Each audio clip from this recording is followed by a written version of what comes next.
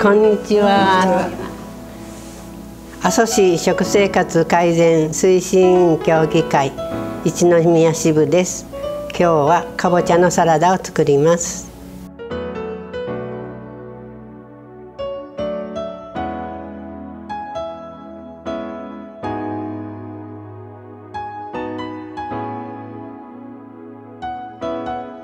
教えてくださるのは今村さんです。よろしくお願いします。よろしくお願いします、はい、そして器はこちらになります、えー、阿蘇市西小園にあります。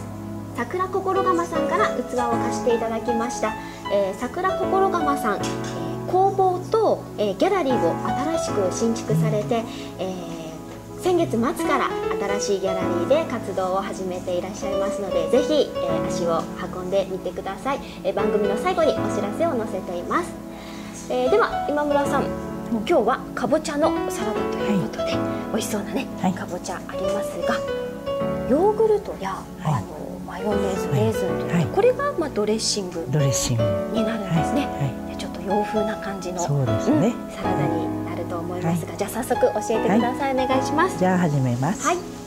半分に切って。はい。お茶をまず。まず一口切りに切って。はい。そしてこれを茹でます。なるほど、はい、その間に、はい、きゅうり人参玉ねぎを切っていきます。はい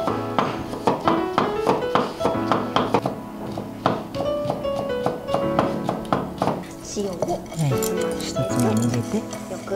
よくもむ、はい、ヨーグルト、はい、ヨーグルトですね。はい、マヨネーズ。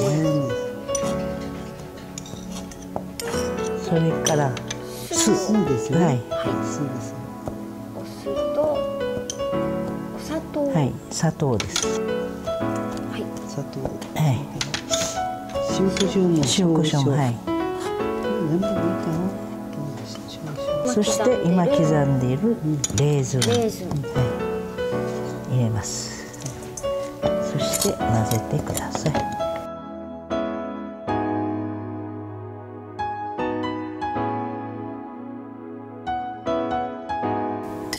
玉ねぎが入ります。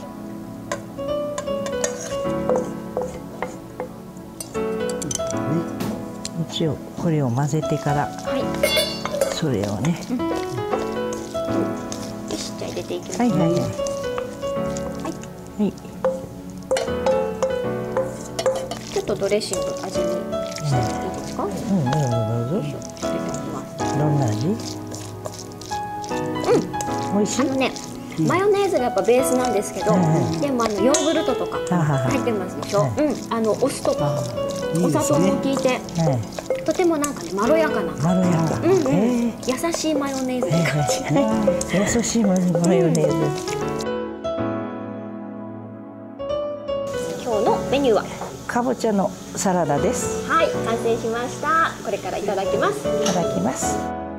メインのかぼちゃサラダをいただきますが他にも用意してくださってありがとうございます。ではいただきます。いただきます、はいうん。あ美味しい。もっとドレッシングが立つのかなと思ったらいい具合に混ざってますね。うん。美味しい。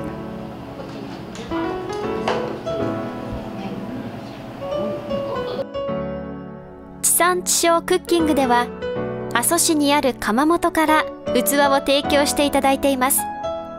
阿蘇市西小園にある桜心窯は工房前にある見事な桜の古木にちなんで名付けられた工房で暮らしの中で愛され心地よく使ってもらえる陶器作りがテーマです。